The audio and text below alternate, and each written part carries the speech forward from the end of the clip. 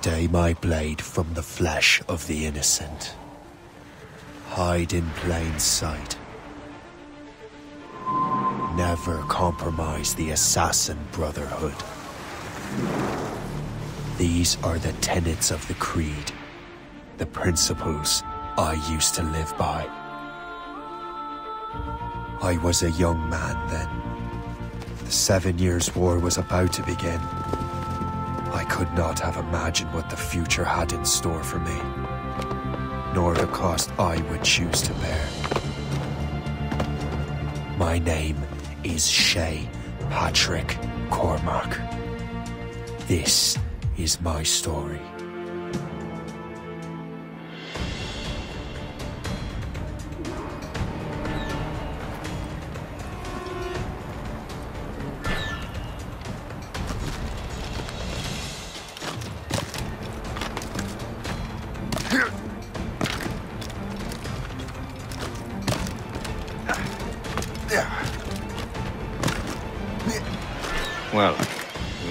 Firewood at least.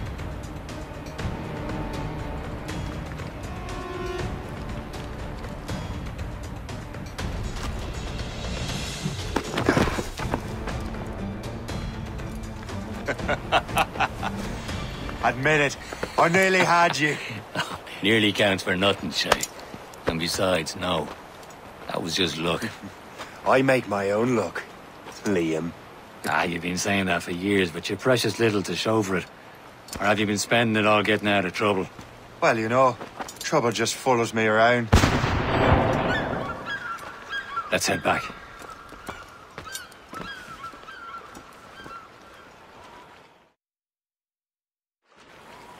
Come on. Captain de and his crew must have run into some trouble. Who knew meeting with smugglers would lead to no good? I still don't understand why you can't tell me what we're doing here. Because Chevalier decided not to tell me. I thought we were friends, Liam. We are. Doesn't concern you,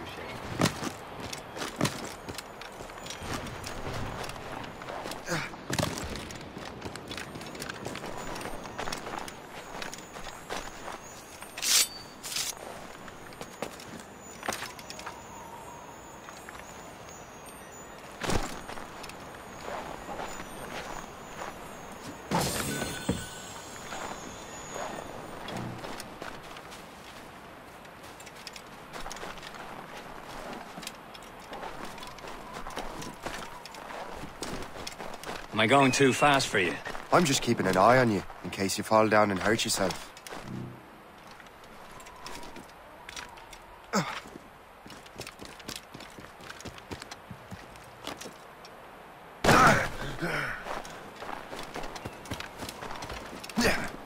Hurry. We best not keep Chevalier waiting. Où sont ces crétins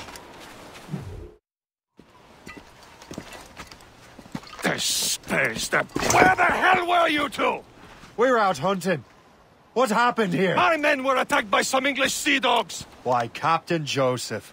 Couldn't you fight them all off by yourself like you're always saying? It is Capitaine Louis-Joseph Gauthier, Chevalier de la Vérendrye. And you are dreaming if you think any training could make you into a proper assassin. Do you even know what that means? It means being responsible for an ancient and proud tradition. It means obeying your mentor without question. How else will we ensure freedom for the human race? Them's pretty words, Chevalier. But I don't feel too free at the moment. Well then, feel educated! You irresponsible wretch!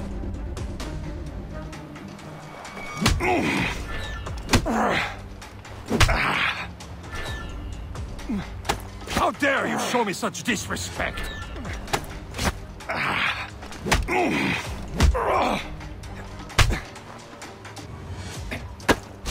How dare you show me such disrespect?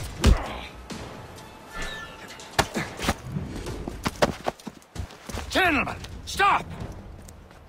We got a common enemy, and I reckon he's close. The Royal Navy attack my vessel and force my men to flee. We are stranded, and what is worse, the smugglers we were supposed to meet have been taken prisoner! Shay and I are free those smugglers. You, treat your wounded.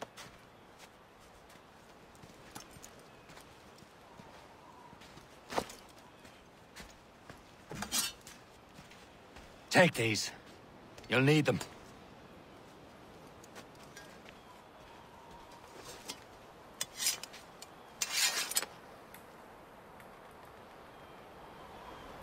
Tread with care, Shay. The Royal Navy be ready for us. Remember your training. Ready to teach them a lesson? They don't stand a chance. Where are your mates now, you bad. filth rat? Hold talk before I bash out your brain! Keep an eye out, lads! The pals are Goes still again. out there somewhere!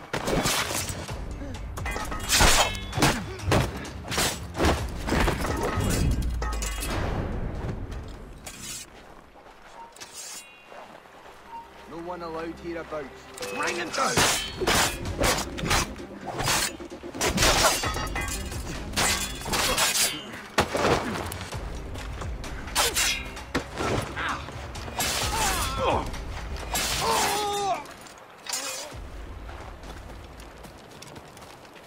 Many thanks. I thought I'd be hanged.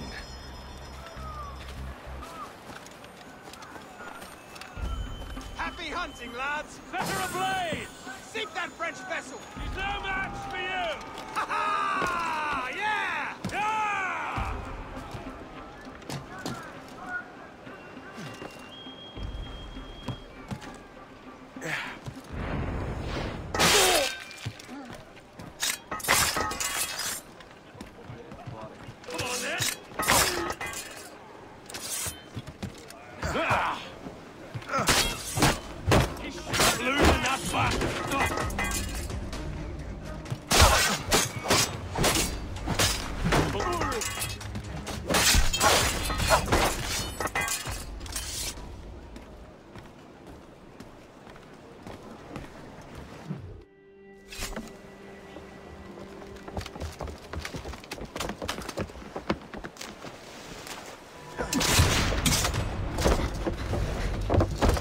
I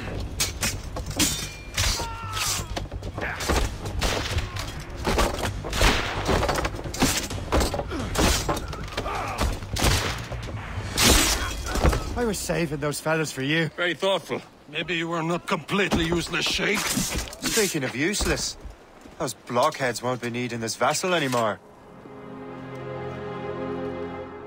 This pile of mail? You want her, Shay? She is yours. Now bring me back to my ship. You heard, Chevalier? This vessel is yours, Shay. Go on. Take the wheel. Some of the men you rescued agreed to join us. They should prove a good crew. I'm not so certain about their captain, but next to me you are the most experienced sailor in the Brotherhood, Shay. Besides, we could use another vessel. Even this pitiful one. She's mine, ain't she? My own ship.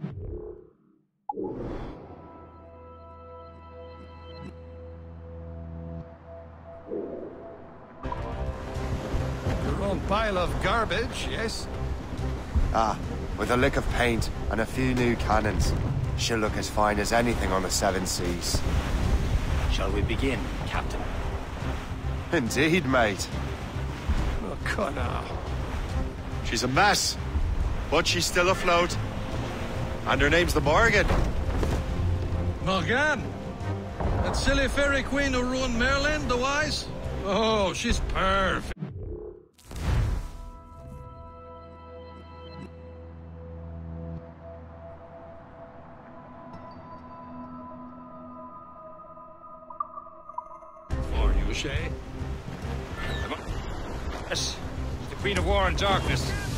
She of the souls of fallen warriors.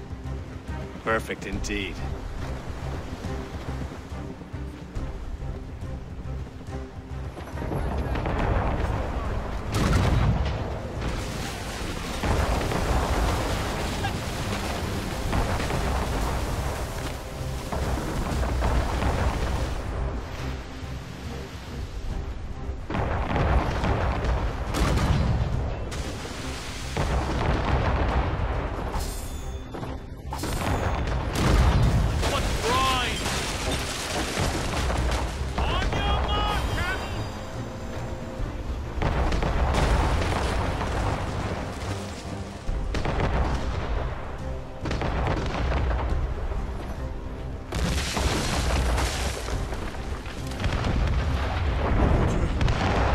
Ship!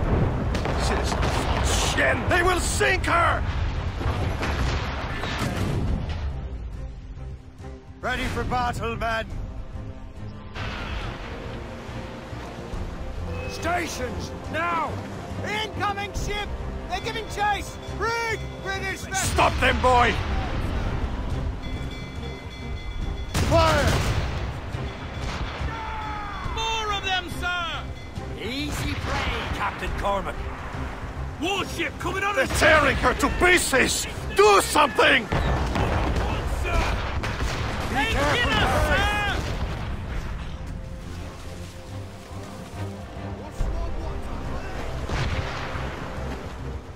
My ship!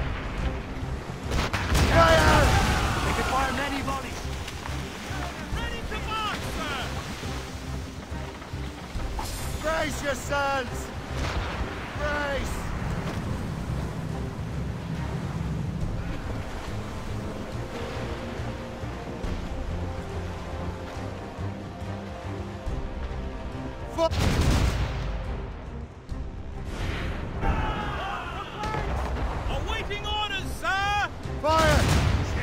Seems this vessel is battle ready after all. I will return to what is left of Le Gerfaut. It's a long way home, and we have repairs to do. Sing hearty, lads! Chevalier is pleased with us.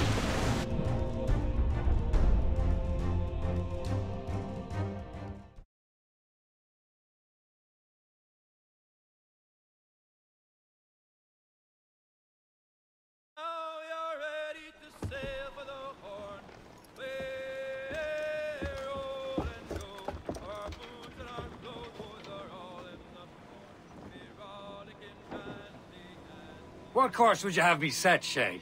Time to report back to the mentor. Wouldn't you agree? Wise words, Captain. Wise words.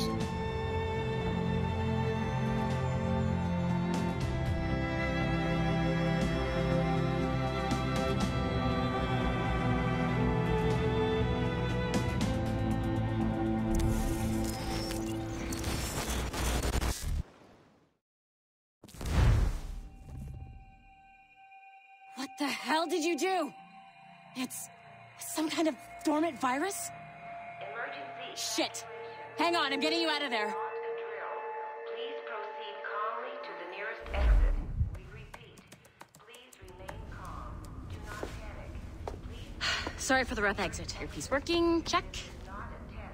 You were just in an animus. Animus, yes? You were using it to access a genetic memory file in Helix labeled Shay Cormac? You work for Abstergo Entertainment, remember? Any of this ringing a bell? Your session triggered something bad, and it's affecting the whole building. We need to find your boss. You haven't forgotten your boss, have you? Melanie LeMay, zipper, chipper, overachiever? Here, take your communicator, check it if you get lost. Now let's get out of here. Follow me. Double time. This chaos is absolutely your fault, in Come on, case you're wondering. Just like we practiced in our safety drills. Everything is gonna be okay, guys. Stay positive. test. We repeat. This is not a test. What the hell is happening? A file labeled Shay Cormac was booby-trapped with some kind of virus. Your job is to prevent things like this. We need to contain these genetic memories, then we can destroy them. No. Isolate them. I want to study these memories. But With respect, Miss LeMay, this is not a request. You heard the man. fine. I need to borrow your numbskull. That okay with you, Ms. LeMay? Hey there, this might seem a bit weird, but you're gonna work for contractors we hired to, you know, upgrade our security. Mr. Otto Berg and Miss Violet DaCosta. Call me Violet. I have to go check on our people and prepare a statement for the press. Do whatever they tell you to do, okay? Go team! Technically, you're not responsible for this, but you're the one who let the virus out, so I think it's only fair you help me clean it up. Mr. Berg wants us to relive Shay's genetic memories. To do that, we need to access them from Helix. But the Helix is down. We'll have to reboot the main servers in the basement. Man, whoever designed this virus is a genius. Not only does it restrict our access to the cloud, it's adapted to fuck up the other operating systems that regulate building functions. Melanie?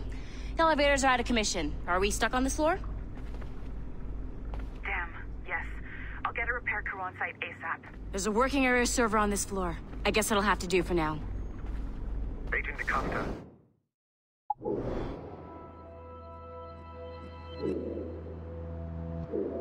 I want regular updates on your progress with Shay's genetic memories. Why? He's just a nobody as far as I can tell. Shay Cormac is who I suspect he is, then this temporary setback may provide us with an unexpected reward. Proceed to the server room on this floor.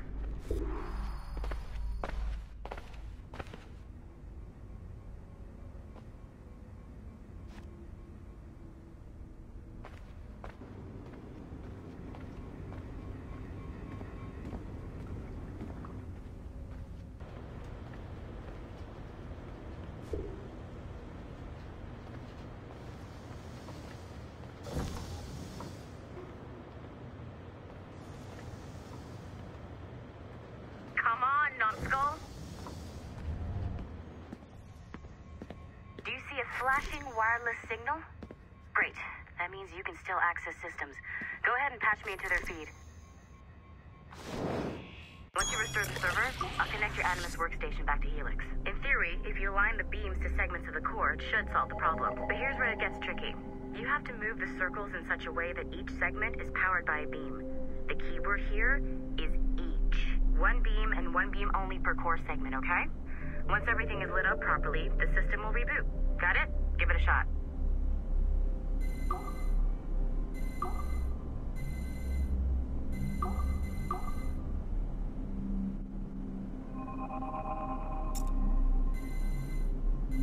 Good job.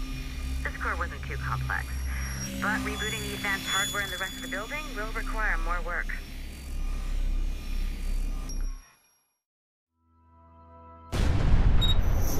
Assassins would have you believe that Al Mualim was a great mentor who became corrupted with greed, and that he schemed with the Templars to acquire an apple of Eden. I see instead a shrewd and cunning leader, a man who used his best assassin, Altair ibn-La'Ahad, to eliminate his conspirators in order to keep the apple for himself, so that he could use it to enforce world peace.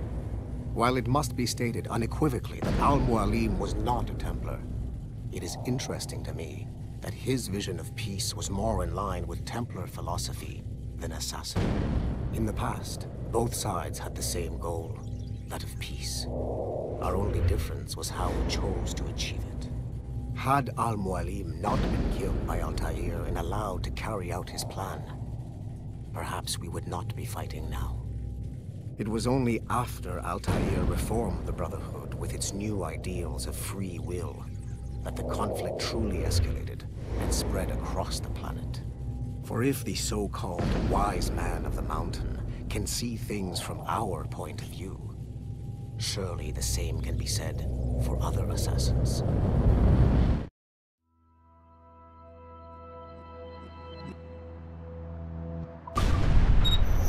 The assassins would have you believe that Al-Mualim was a great...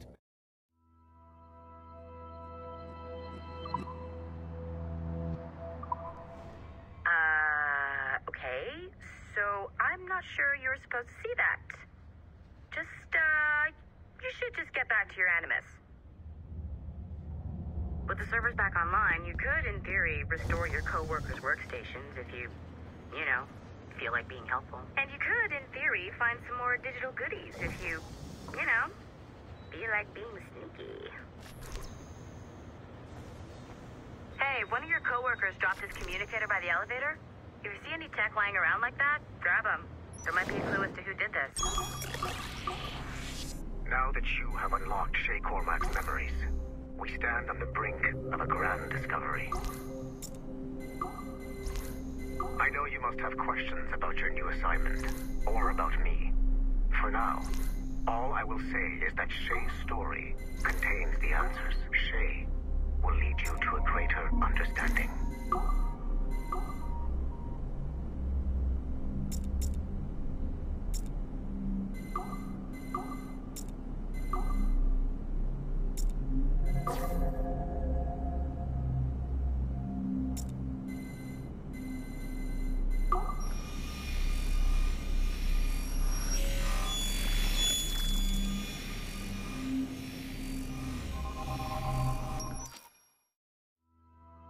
Following the Great Purge of 2000, William Miles became the de facto leader of the Assassins.